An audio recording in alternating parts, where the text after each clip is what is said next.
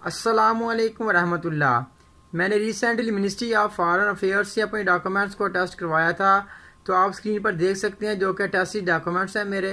तो इंशाल्लाह इस वीडियो में आपको तफसील से बताऊँगा डॉक्यूमेंट्स कैसे टेस्ट होते हैं, इसके लिए कौन कौन से डॉक्यूमेंट्स रिक्वायर्ड होते हैं, इसके लिए कितनी फ़ीस लगती है, कितना टाइम लगता है और जो बाहर बहुत ज़्यादा रश होता है, आप कैसे उसको मैनेज करके जल्दी अपने यानी कि डॉक्यूमेंट टेस्ट करवा सकते हैं। तो वीडियो को आखिर तक कम्मल देखिएगा। तो वीडियो की मजीद तफसील में जाने से पहले आपसे छोटी दरख्वास्त है कि अगर आप मेरे चैनल पर नए आए हैं तो चैनल को ज़रूर सब्सक्राइब करके बेल आइकन पर क्लिक कर लीजिएगा ताकि हर नई अपडेट आप तक टाइमली पहुँच सके और आप अपडेटेड रह सकें। मोफा के ऑफ़िस में सुबह सूरज निकलने से पहले पहले पहुँच चुका था, लेकिन मेरे जाने से पहले भी तकरीबन पचास से साठ लोग पहले से वहाँ पे मौजूद थे। तो आपने कोशिश करनी जितना जल्दी पॉसिबल हो सके आप जल्दी जाएँ, क्योंकि सुबह आठ बजे यानी कि डोर ओपन करते हैं मिस्ट्री का। तो फिर ग्यारह बजे तक वो टोकन यानी कि देते हैं। ग्यारह बजे के बाद किसी को टोकन नहीं मिलता, किसी को गेट की इंटरेस्ट नहीं मिलती। तो आपने कोशिश करें, जितना जल्दी जाएँगे तो आपका टोकन मिल जाएगा। जिसको टोकन मिल जाएगा तो उसका काम लाजमी हो जाएगा। तो फिर जब आपको टोकन मिलता है तो आप अंदर जाएँगे तो राइट साइड पे यानी कि सामने डाक डाक ऑफ़िस है। तो वहाँ पे आपने जाकर अपने डॉक्यूमेंट दिखाने होते हैं, जी, मैंने ये डॉक्यूमेंट को टेस्ट करवाना है।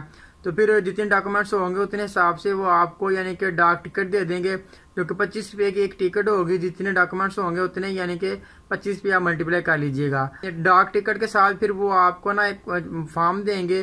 तो वो भी फॉर्म आप स्क्रीन पर देख सकते हैं। आपने इस तरह फॉर्म को बाहर लेना।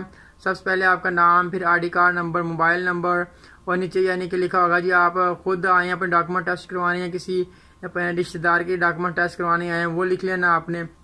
और साथ नीचे यानी कि जो जो डॉक्यूमेंट्स आपने टेस्ट करवाने, वहाँ पे क्लिक कर देना है। तो ये फॉर्म आप फिल करके नीचे साइन कर लीजिएगा। तो ये फॉर्म आपका फिल हो चुका है, आपको डाक टिकट भी मिल चुकी हैं। तो डाक टिकट आपने अपने जो ओरिजिनल डॉक्यूमेंट्स हैं ना, आपके जो आपने टेस्ट करवाने हैं, उसकी बैक साइड पे इसको यानी कि आपने चस्पा कर लेना, जहाँ पे आई की स्टैम्प वगैरह लगी होंगी पहले से आपकी। तो इसके बाद अगर आपका एफआरसी आपने टेस्ट करवाना है तो उसके फ्रंट साइड पे आप इसको लगवाएँगे।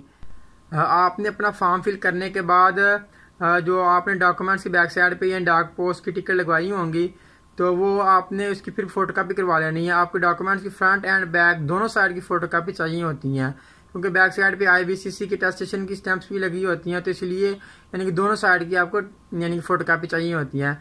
तो जो भी डॉक्यूमेंट्स आपने यानी कि सबमिट करवाने हैं, यानी कि डॉक्यूमेंट टेस्ट करवाने हैं, उसकी दोनों साइड की फ़ोटो कापीज और साथ आपने अपना यानी कि I D card I D card की फ़ोटो कापी और आपका फॉर्म ये चीज़ें आपने लेके तो ऊपर यानी कि चले जाना। फ़ोटो कापीज भी उधर से ही हो जाती हैं, नीचे से ही।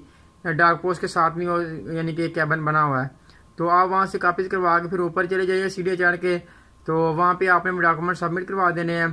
तो फिर डॉक्यूमेंट सबमिट करवाने के बाद जो भी आपका ये टोकन नंबर आपको मिला होता है ना, उसी हिसाब से फिर आपको यानी कि ना, यानी कि दो बजे के बाद भी डॉक्यूमेंट्स टर्न स्टार्ट हो जाते हैं मिलना।